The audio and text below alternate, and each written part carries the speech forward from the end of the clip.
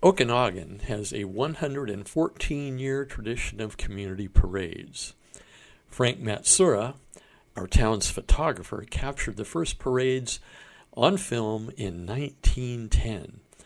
People made horse drawn wagon floats decorated with flags and buntings. There was a float with a milk cow. There were horse races down Main Street and sack races down First Avenue. Kids were eager to join the parade too by hitching their dogs to their little wagons. Fifty years later, in the middle 1960s, kids really wanted to join the parade. They decorated their bikes with crepe paper, they wore costumes, and showed their pet.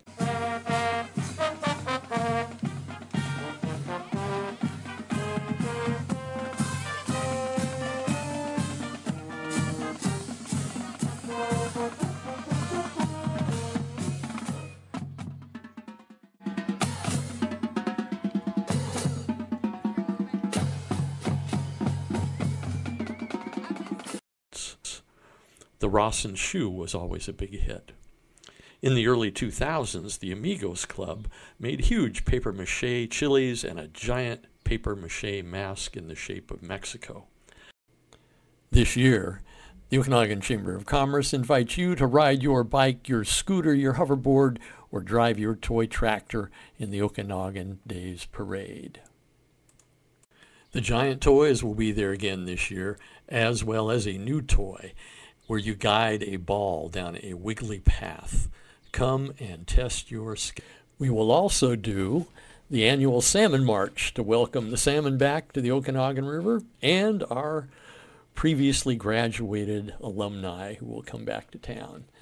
This celebrates the old tribal story of Coyote leading the salmon up the Okanogan River.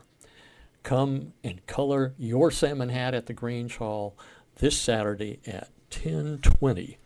The parade will start at 11.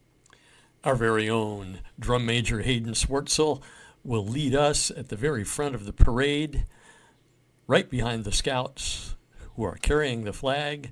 So come join the parade, make a memory, and be a part of the community.